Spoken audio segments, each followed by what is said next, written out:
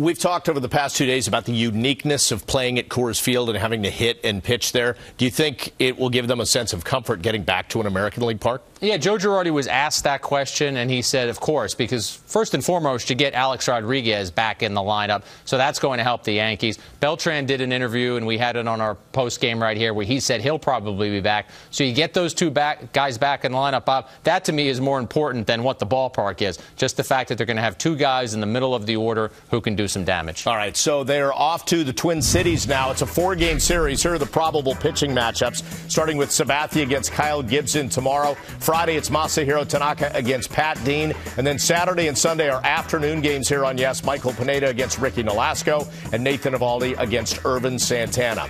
Jack, on the right side of that, you see sub 500 records for the Twins pitchers. As for CC Sabathia, over his last six, he has been absolutely brilliant. And you look at the opponents.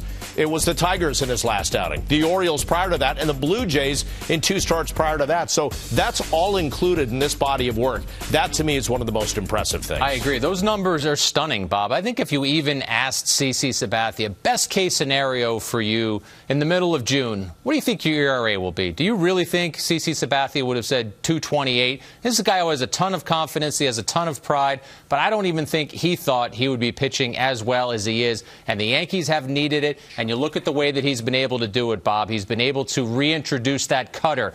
He's been able to throw that cutter inside. He took advice from Andy Pettitte. He took advice from Mariano Rivera. The changeup, which has always been a part of his arsenal, he's throwing that with a lot more confidence. So he's pitching to both sides of the plate. David Cone will tell you if you go inside David Cone and get a pitching lesson from him, so important for pitchers to pitch to both sides of the plate. Why? Because you're more of a mystery to batters. You're not just throwing to one. They have to they have to cover so many parts of the plate, so many different quadrants. That's what Sabathia is doing differently now.